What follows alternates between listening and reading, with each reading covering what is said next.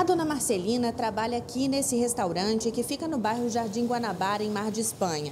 Ela saiu do serviço para ir ao mercado que fica na mesma rua, a pedido da dona do estabelecimento. Mas não imaginava que no caminho muita coisa iria acontecer. Aí eu tô andando para a rua fora.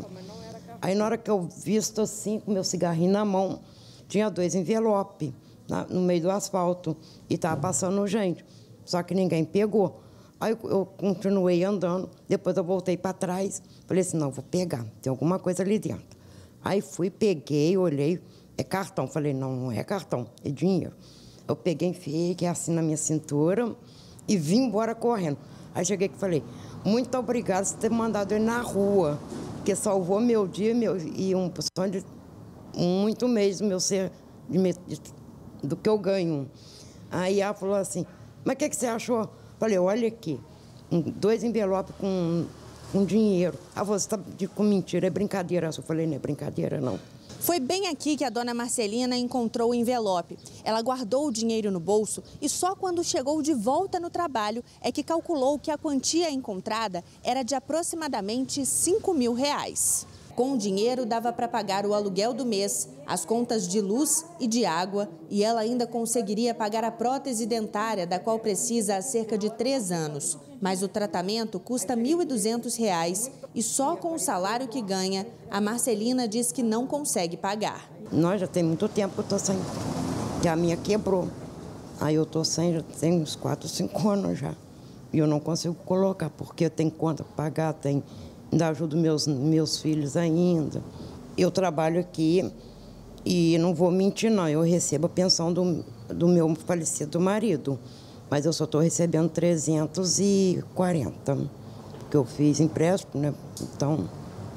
A senhora contou que de vez em quando até vende a folga, né, para ter um dinheirinho extra. Aí todos os domingos eu vendo minha folga para poder ter um dinheirinho extra. Mesmo assim, a cozinheira decidiu que a melhor opção era primeiro tentar devolver o dinheiro encontrado para a pessoa que tinha perdido. Eu ia guardar comigo três dias. Se parecesse o dono, eu entregava. Se não parecesse, eu ia usar para me pagar meu aluguel, minha água, minha luz e colocar minha prótese. Mas apareceu, ela botou no Face. Aí eu peguei e falei com ela, liga para ela, fala que está comigo. Me abraçou, chorou muito aqui.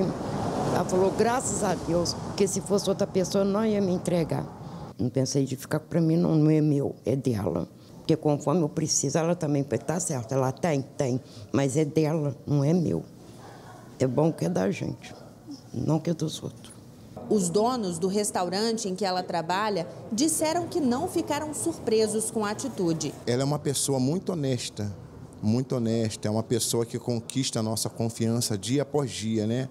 E a gente sabe que nos dias de hoje é difícil a gente ver um ato de honestidade, um ato lúcido igual dela.